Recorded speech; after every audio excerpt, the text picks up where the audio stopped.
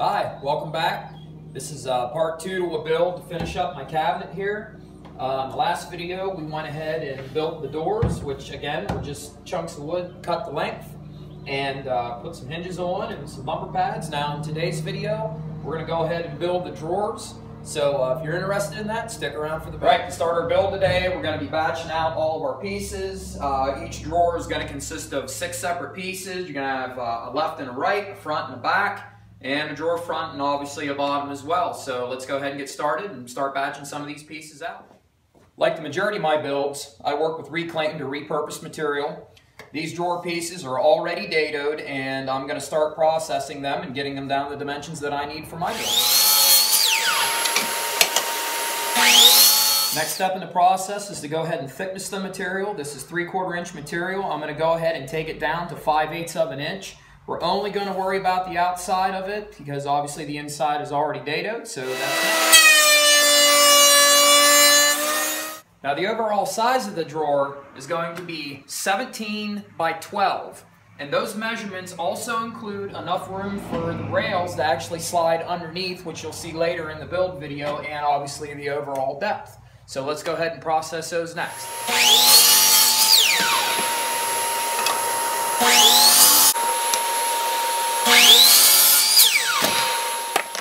Now one thing I like to do when I'm putting together drawers, uh, specifically in an order, is I like to batch everything. So I know that for every one of the drawers that I make, I'm going to need a left and a right, and I'm going to need a front and a back. So I like to put everything together in a set, and what this does is this helps me keep everything organized and helps me keep everything together as I want it and in the specific orientation that I wanted. Obviously, we have dados, and in having the dados and having a left and a right, you want everything to end up exactly where you want it to be in the end.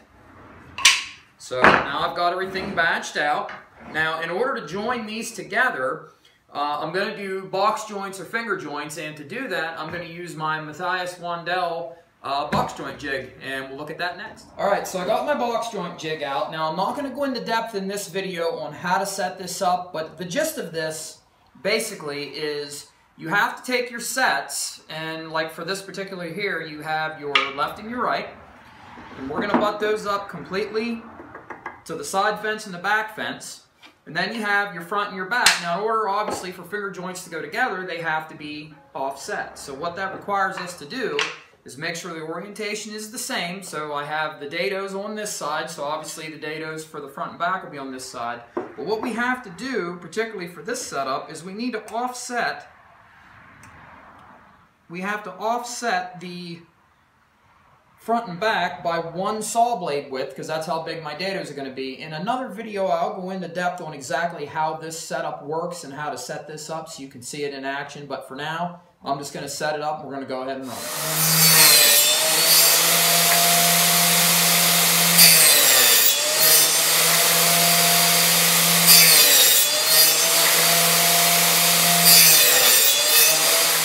One thing I think it's important as you're building drawers, and especially when you're getting into box joints and, well, any kind of real true fit work, you got to stop every once in a while and make sure that your measurements are correct and everything like that. Well, lo and behold, I've made a mistake. Um, the drawer actually fits in the slot just fine, but it's actually, I didn't accommodate for the little 16th of an inch or 3 seconds on both sides for the actual drawer slide. So now I have to come up with a creative way to fix that, and I think what I'm going to do is do that on the table saw and take off a blade's width just on that lower half here before I get everything uh, situated. But uh, Anyway, measure twice, cut once. The next thing we have to do now is to start cutting for the bottoms. Now, my material already has a dado in it, and I went ahead and measured that out uh, with my other tool here, my measuring tool, my depth tool, and that equals out to a quarter inch. So the measurement on the inside of this is uh, 10 and 3 eighths plus a quarter plus a quarter, be right around 10 and 7 eighths. I'm probably going to stay a little weak to that just so I have a little bit of wiggle room, but uh, that's all you really got to do. Just make sure you add whatever depth of your dado is for your bottoms. Let's cut those next.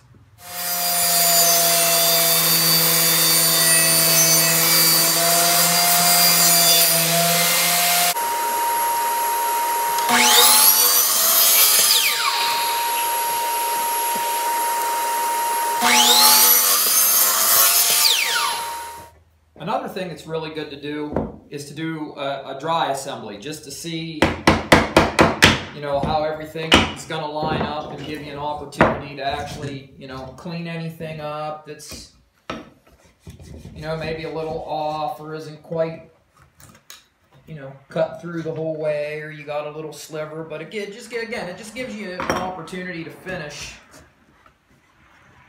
and to see exactly where things are going to.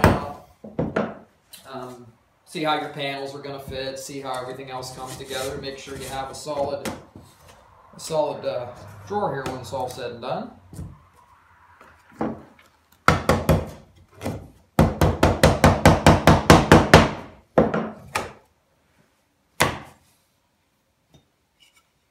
And so far I haven't been doing too awful bad.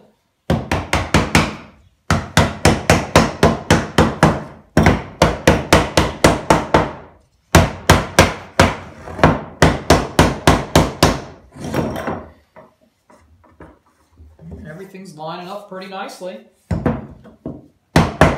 going to be a lot of fit and finish on this one. But, so that's just another step in the process of making drawers. All right, now that we've done the, uh, the dry assembly, we're going to go ahead and start gluing everything up. And uh, this is just a, you know, nothing crazy here. We're just smearing glue and everything as much as we can. You can use a nice little glue, you know, nice little thin strip of wood. Uh, you can also cut some thinner curves if you want for box joints and use those to slide in there. These are pretty thin, so I'm just going to do what I'm doing here. Try to make it a little easier on myself, but that will remain to be seen. So I will not bore you with all this, but this is what I'll be doing for the next probably 15, 20 minutes, just gluing everything up. So when I come back, we'll show you a little bit more.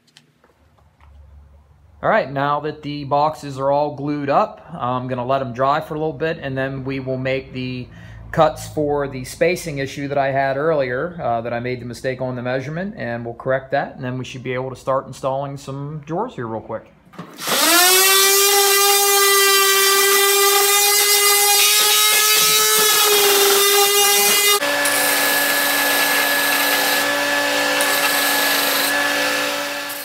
All right, so here's how I came up with the fix uh, for the miscalculation I'm actually notching about a saw blade's width off just enough to fit. And here, I'll spin this around here so you can see it. So we can actually accommodate the sides of the rails and it's just enough that they slide in now and it doesn't hit and I got the wiggle room that I need. Uh, so that's the first fix of it. So that's where we're going to leave it for now until I get the rest of it done. So there we go. That's how I'm fixing it. All right, so for this particular type of drawer slide, I actually have to notch a little bit here on the very back. Essentially what we're going to take out is this little piece here on both sides, and that's so the drawer can slide in uh, just the way that it needs to. So that's what we're going to do next.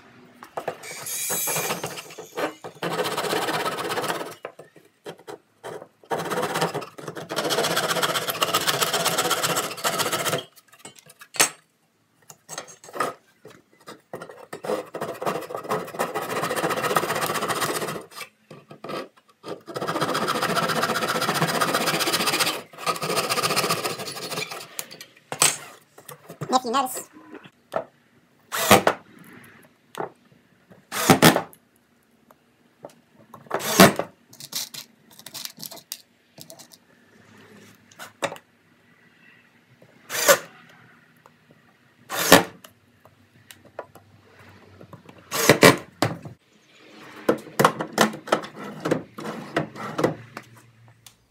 All right, we got our drawers in. Everybody's sliding real nice. Our, we, our little uh, saw blade width that we took away there to accommodate the side of the rails worked. Next up, we got to do some drawer fronts, and then this project will be complete. Now, our drawer spacings are four and a half inches by 12 inches. So in keeping with the half inch reveal, we're going to go ahead and make the opening, the drawer front, five and a half inches by 13 inches. That way we can maintain the half inch reveal the whole way around and we're going to cut those next.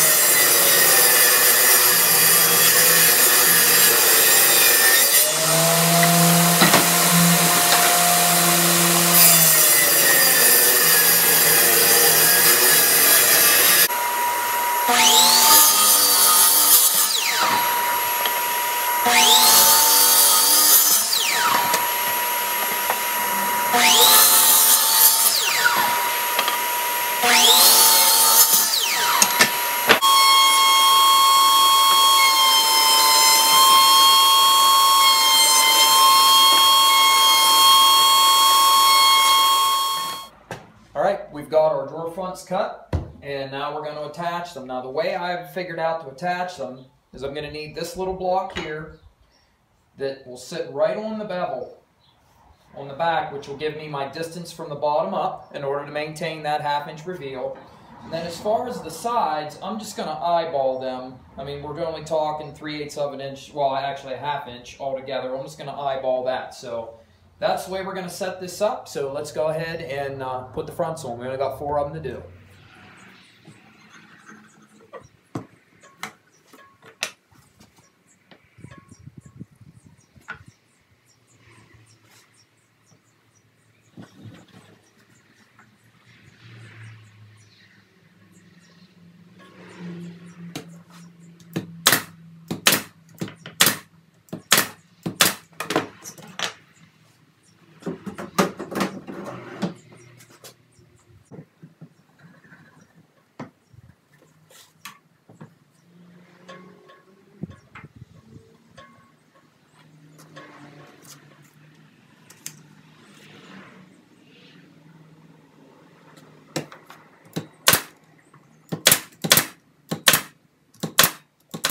All right, here we go. Cabinet's all done.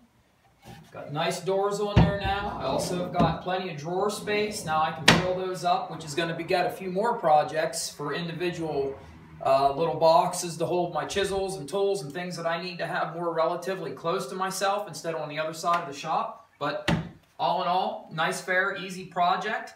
Uh, lining the drawers up on top of the doors is kind of a pain. So if anybody has any ideas on how they do it or can direct me to another video, I would sure love to see it. I'm, I'm always interested in seeing other people's techniques, but there's another one in the books, another build for you.